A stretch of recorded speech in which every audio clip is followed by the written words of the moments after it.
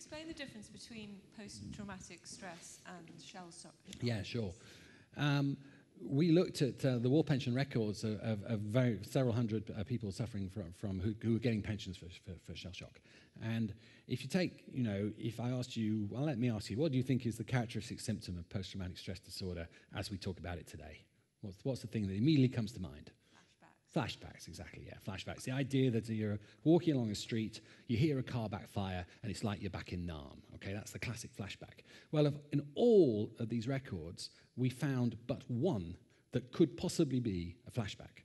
They simply don't mention it. They really don't mention it.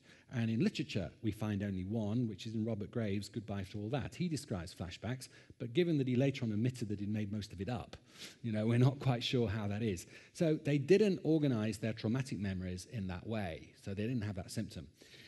And we argued, and we can't prove this, the reason is that after the war is the great time of cinema.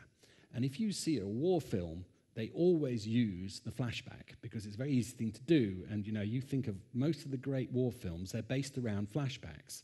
And we think that as people go to the mass cinema, they start to change their views of memory. Their traumatic memories change. So in the First World War, they talk about nightmares, they talk about shaking, they talk about being unmanly. That's mentioned quite a bit, whatever that may mean, um, and so on, tears and so on. But they don't describe what we now think is the characteristic symptom of PTSD.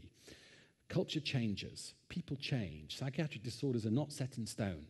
Okay, they're not like cancer, it's just cancer and it's just what it is. They change according to the environment they're in and, and the people that affect them. And we would argue that culture has changed and the disorder known as shell shock has disappeared. And along with the word, uh, in, as in medicine, we don't see that anymore. We see different things.